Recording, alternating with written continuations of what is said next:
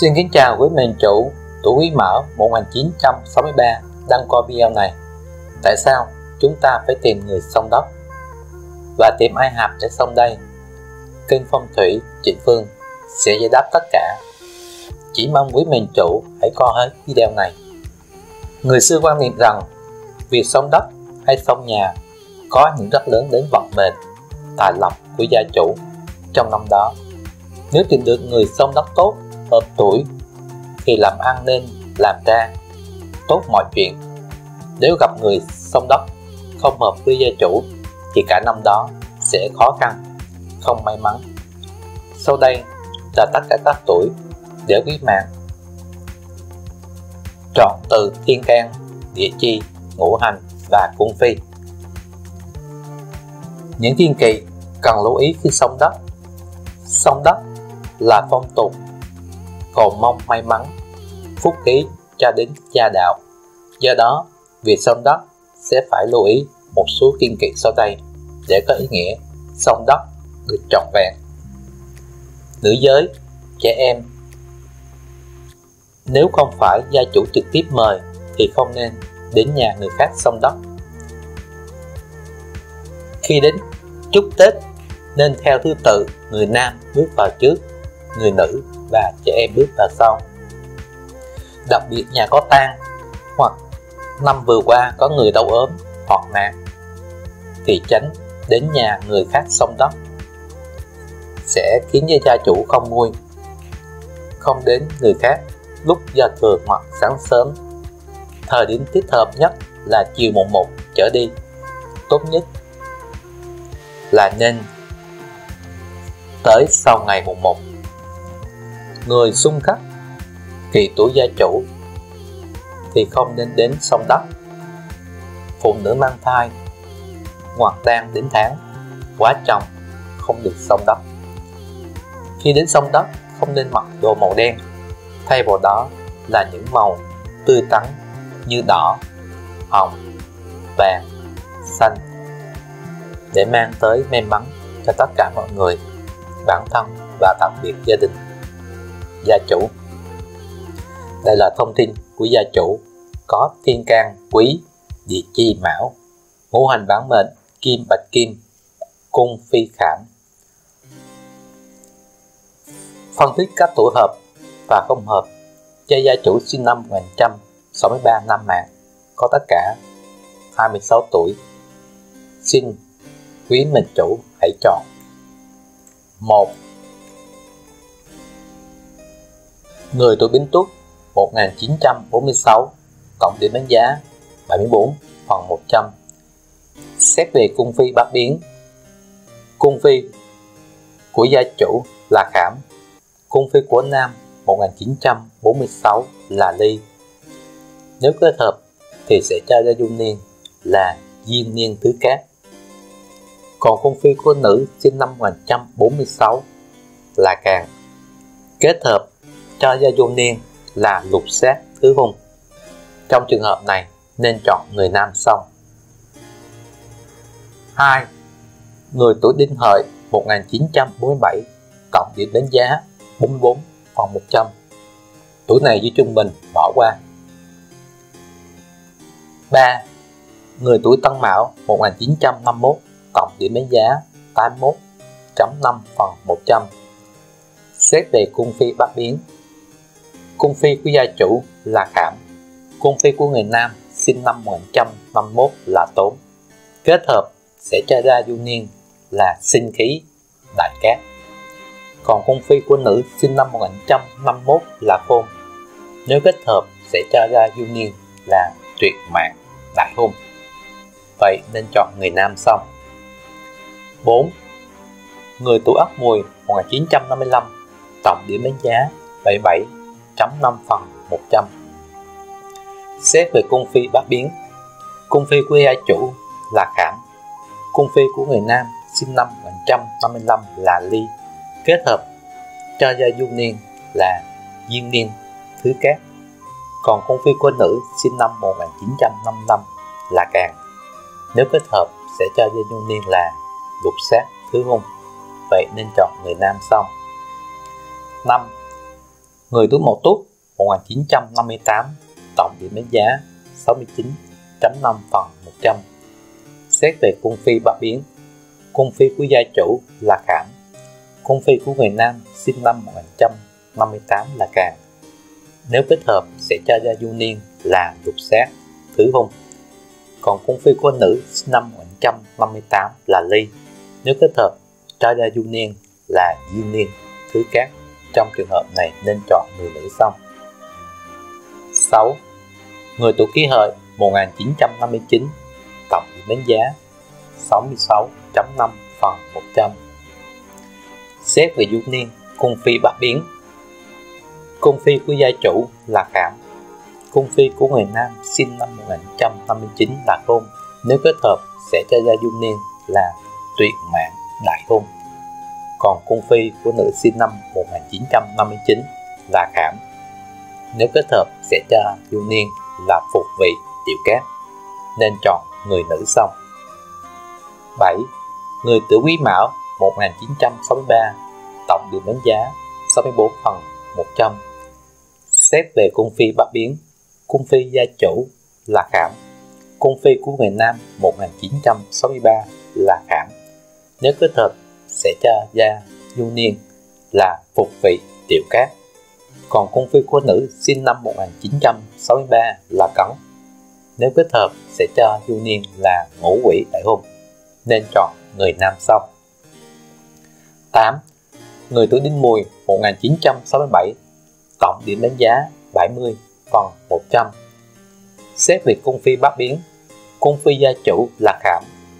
Cung phi của người nam sinh năm 1967 là Càng. Nếu kết hợp cho ra du niên là lục sát thứ hung. Còn cung phi của nữ 1967 là Ly. Kết hợp cho ra du niên là diên niên thứ cát, nên chọn người nữ xong. 9.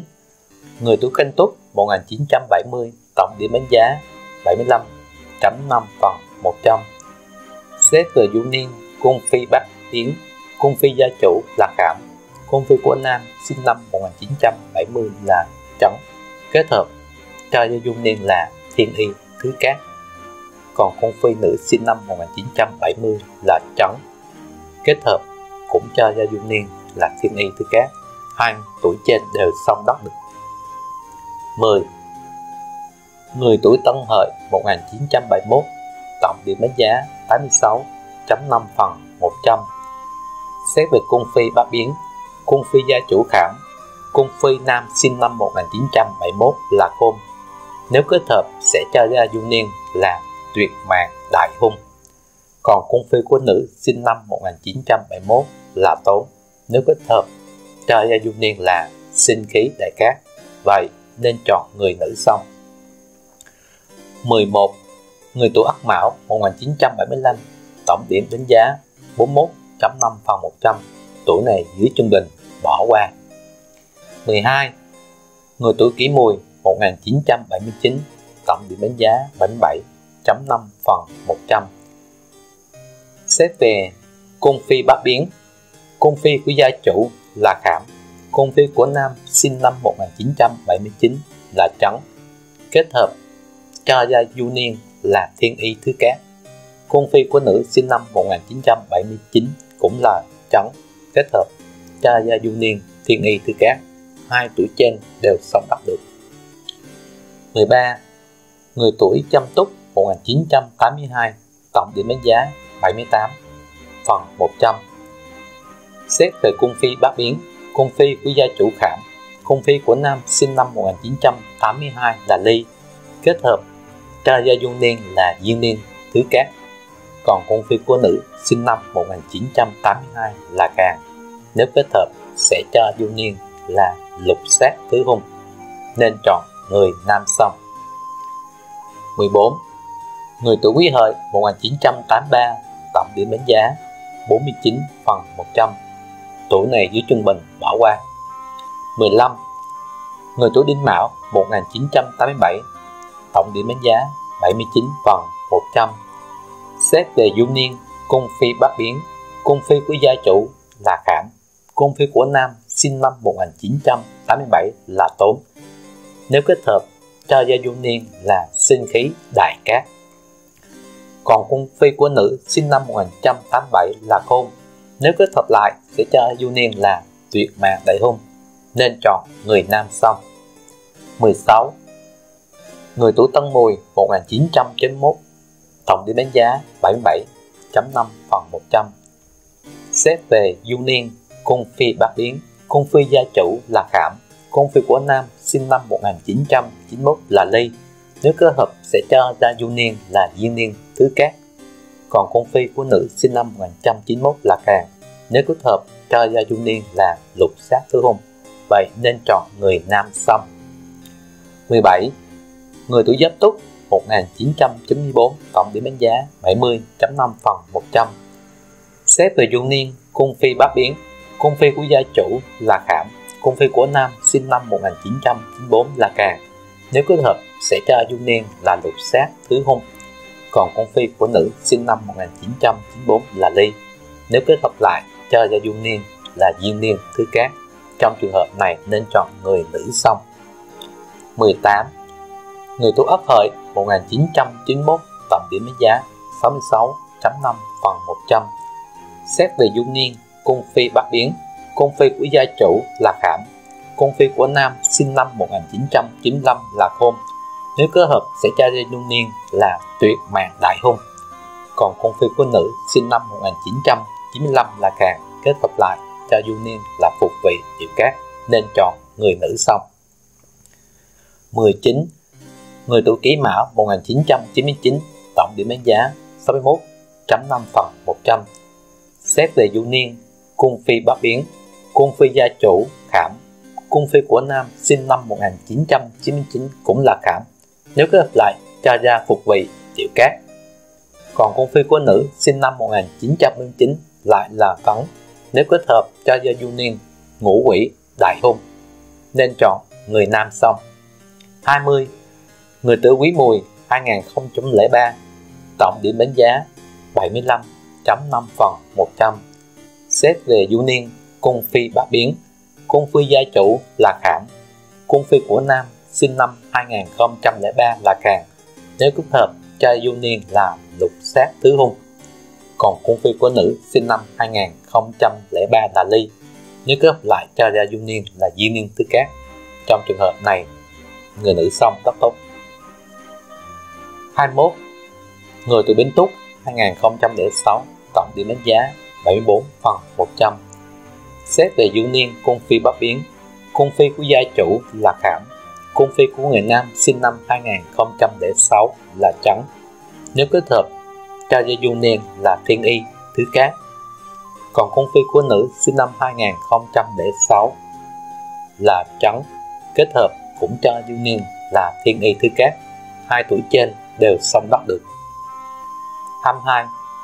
Người tuổi đinh hợi 2007 Tổng điểm đánh giá 84 phần 100 Xét về du niên Cung phi bát yến, Cung phi gia chủ là khảm Cung phi của nam sinh năm 2007 là khôn.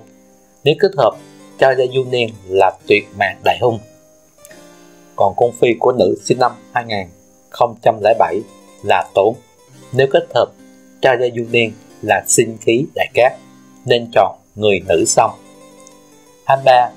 Người tuổi Tân Mão 2011 tổng điểm đánh giá 41.5 phần 100 tuổi này dưới trung bình bỏ qua 24. Người tuổi Ất Mùi 2015 tổng điểm đánh giá 77.5 phần 100 Xét về du niên cung phi Bắc Yến, Cung phi của gia chủ là Khảm Cung phi của Nam sinh năm 2015 là Trắng. Nếu kết hợp lại cho gia dung niên là Thiên Y thứ cát Cung phi của nữ sinh năm 2015 là Trắng. Nếu kết hợp, cũng cho du niên là Thiên Y thứ cát Hai tuổi trên đều sống đắc được.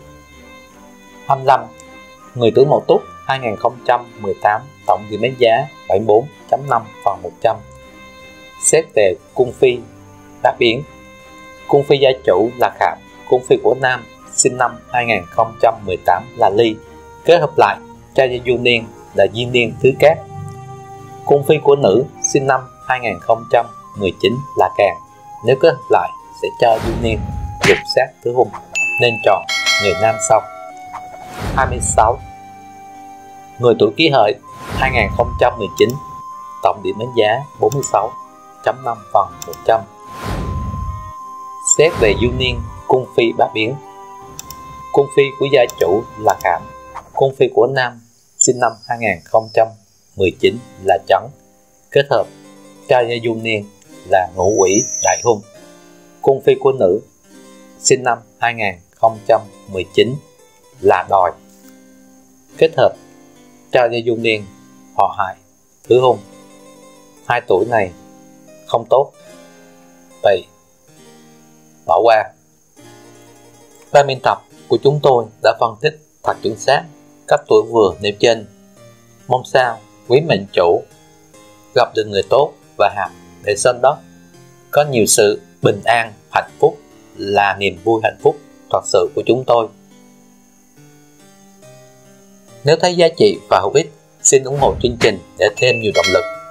Mệnh chủ chưa đăng ký, hãy nhấn nút đăng ký, nhấn hình cái chuông, hình ngón tay cái trên màn hình điện thoại của mình chủ để nhận thêm nhiều thông tin bổ ích nữa và hãy chia sẻ cho mọi người.